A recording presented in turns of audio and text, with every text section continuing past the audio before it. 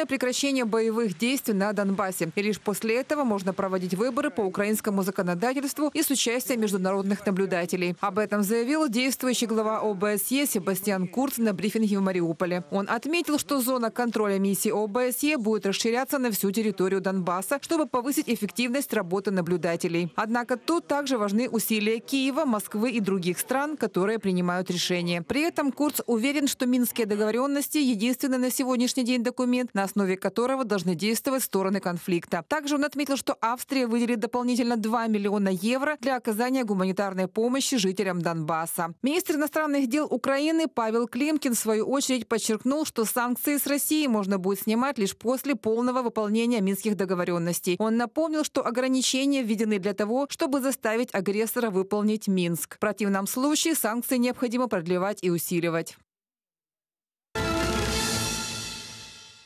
Двое украинских бойцов получили ранения за минувшие сутки, сообщают Минобороны. Семь раз боевики обстреливали позиции сил АТО в Попасной Луганской области. Использовали гранатометы различных систем и пулеметы. Продолжают применять запрещенные Минском минометы на Светлодарской дуге. В районе Луганского за сутки выпустили 35 мин. Также стреляли с гранатометов и стрелкового оружия. Кроме того, на Донецком направлении оккупанты атаковали украинские оппозиции на северных окрестностях Горловки, в Авдеевской промзоне и в районе Донецкого аэропорта. На Мариупольском направлении без изменений.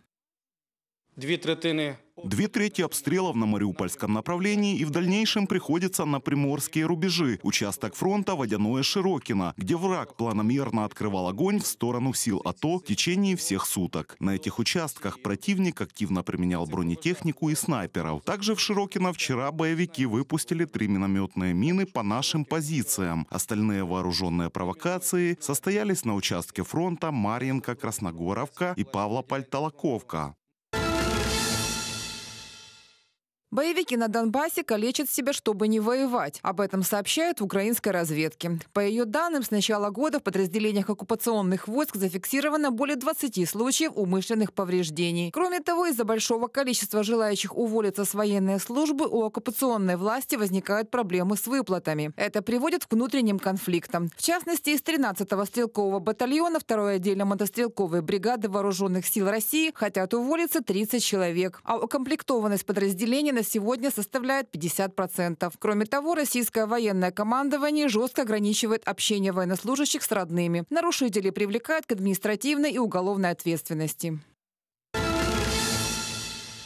Петр Порошенко написал письма украинским политзаключенным в России и оккупированном Крыму в рамках новогоднего марафона «Мы сильнее кремлевской решетки». Об этом сообщила Александра Матвейчук, координатор Евромайдан СОС, который инициировал марафон. Президент написал письма всем гражданам Украины, включенным в список политзаключенных в рамках кампании «Let my people go». По данным правозащитников, сейчас в заключении Кремля по политическим мотивам находится не менее 36 граждан Украины. Еще около 10 дел Евромайдан Майдан СОС изучает для включения в список. Практически все узники лишены правовой защиты и медицинской помощи. Многие были подвергнуты жестоким пыткам, а часть из них уже отбывает наказание в колониях России. Среди этих людей многодетные родители, пенсионеры, люди с тяжелыми хроническими заболеваниями, правозащитники, художники и журналисты.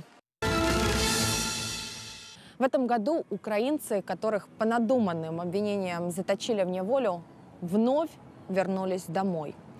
Вернулась, правда, только часть, не все. До сих пор в российских тюрьмах находится минимум 36 украинцев, и их еще предстоит вернуть. 767 дней в российской неволе провел Геннадий Афанасьев. Активиста антиоккупационного движения Крыма задержали в Симферополе в мае 2014-го. Его схватили прямо на улице, избили, долго возили по городу с мешком на голове. Затем привезли в здание ФСБ. Тогда начался сущий ад, вспоминает освобожденный политзаключенный. 9 травня на параде перемоги мене ув'язнили. 9 мая на параде Победы меня посадили. Ничего не нашли, но обвинили в том, что я хотел подорвать памятник Вечному огню. После этого меня 10 дней очень жестко пытали. Это были и газовые маски, топили в блевотине, били током, а затем привезли в тюрьму ФСБ в Москву, где держали полтора года, почти одного, не имея ни встреч, ни свиданий, ни адвокатов. Сотрудники ФСБ силой выбивали из него показания. Зверские пытки заставили признаться в инкриминируемых преступлениях и дать ложные показания против Олега Сенцова и Александра Кольченко. Их назвали террористами, обвинили в дестабилизации ситуации на полуострове. Правозащитники подчеркивают, это был повод для уголовного преследования активистов крымского движения сопротивления оккупации. Они в большинстве своем не имеют никаких доказательств. И все основывается на том, чтобы заставить человека признать свою вину. Если он признает вину, то его могут пытать дальше, чтобы он дал показания на другого человека. И того человека уже можно заключить, и уже его не пытать, потому что на него есть показания. Вся эта система работает только для того, чтобы заключить самого человека, имея юридические доказательства для якобы правого суда Российской Федерации.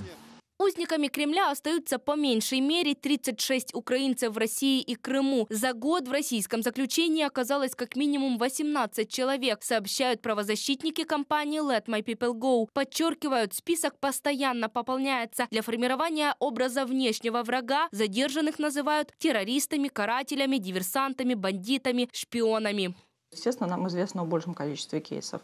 Их уже даже не 37. Но мы не обо всех имеем информацию достоверную. Мы пытаемся дождаться, пока к этим людям допустят независимых адвокатов для того, чтобы все-таки удостовериться там, в определенных фактах. В последнее время мы наблюдаем тенденцию, что появляются э, две новых группы задержанных. Это, во-первых, журналисты, во-вторых, диверсанты, так называемые диверсанты. Сафари оголошено. Сафари объявлено на украинцев последние месяцы со стороны агрессора. В Крыму в рамках этого сафари хватают новых и новых людей, которым шьют дела в стиле 1937 года. Их объявляют террористами, диверсантами, теми, кто готовил какие-то теракты. Им шьют сфальсифицированные дела. Но эти люди абсолютно бесправны, особенно когда речь идет о Крыме. Это оккупированная территория. Туда нет доступа украинских консулов, правозащитников, международных гуманитарных организаций. Мы вообще не знаем, что происходит. Любые упоминания или связь с Украиной – потенциальная опасность для крымчан, может стать основанием для задержания и ареста. А для мира Россия создает иллюзию, что якобы Крым – это ее территория, а все, кто борется за ее освобождение – диверсанты.